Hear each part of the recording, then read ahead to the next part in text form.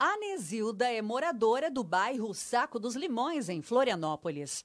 Na família dela, o irmão testou positivo para dengue. Teve que fazer assim repouso, né? Ele teve dores, ele ficou sem apetite, ficou bem mal assim. A técnica de enfermagem diz que depois disso, os cuidados em casa aumentaram. Eu não tenho pratinho, né? No caso, os vasinhos são todos furadinhos e eu estou sempre cuidando, estou sempre vendo se tem alguma coisinha diferente, porque a gente tem medo, né?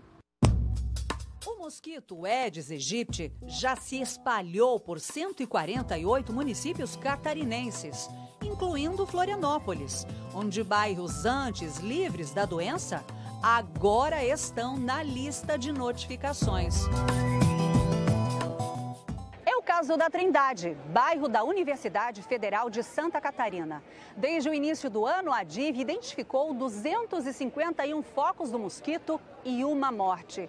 A situação preocupa a comunidade universitária, que, por meio do WhatsApp, alerta os estudantes sobre a importância de cuidados e o uso de repelentes para frequentar as aulas. Alguns estudantes avisaram para usar repelente porque é mais seguro para a sua saúde. Duas pessoas do grupo de estudo ao qual faço parte é, pegaram dengue e ficaram bem mal, assim. Para combater a doença, a Prefeitura de Florianópolis, por meio do Centro de Controle de Zoonoses, intensificou as visitas às residências, mas nem sempre encontra as portas abertas. Esse é um problema bastante grande para nós, né?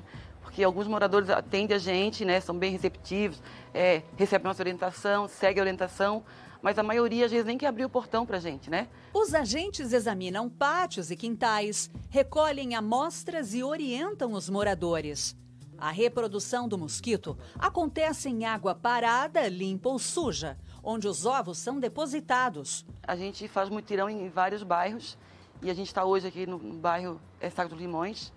É, na segunda casa do período da tarde já encontramos larva e a gente vai orientar agora a moradora o que tem que ser feito para evitar que ela prolifere aqui na casa dela.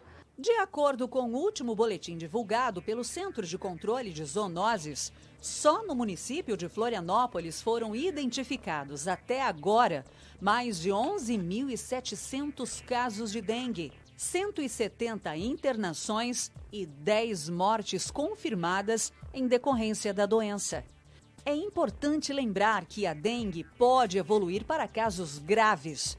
Por isso, desconfie dos sintomas. Pensou em dengue, trata-se como dengue. E como é que se trata a dengue?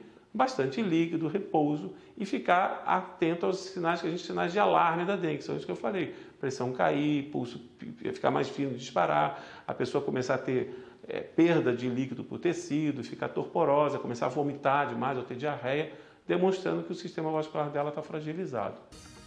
Combater o Aedes aegypti precisa ser uma tarefa diária. A população pode contribuir de forma decisiva, já que 80% dos criadouros estão dentro das casas, como pratos de vasos, garrafas e recipientes que acumulam água. Nós precisamos muito da população justamente por isso, por esse motivo que eu falei, que a gente não consegue estar o tempo todo. Nós fazemos mutirão num bairro e depois nós nos retiramos, vamos para outro bairro fazer mutirão. Isso significa que aquele bairro, se o ciclo do mosquito é de 7, 10, 15 dias a depender da temperatura, esse bairro precisa continuar sendo assistido e quem faz essa assistência são os próprios moradores, é a própria população, precisa continuar atento.